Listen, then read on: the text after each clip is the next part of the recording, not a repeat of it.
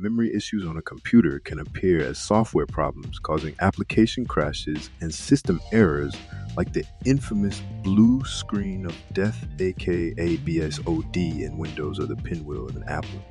These can be due to physical memory failure or bad programming. Physical memory problems can cause system lockups, unexpected shutdowns, or reboots. If an error message related to memory appears, note the memory address.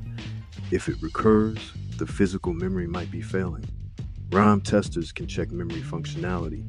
Switching the RAM slot might help, but often replacement is necessary.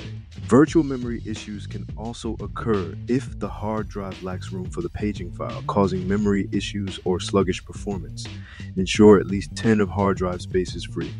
Sluggish performance can be due to low physical or virtual memory, low hard drive space, failing hardware, poorly coded apps, too many open apps, or malware. Check memory usage in Task Manager and free disk space to troubleshoot.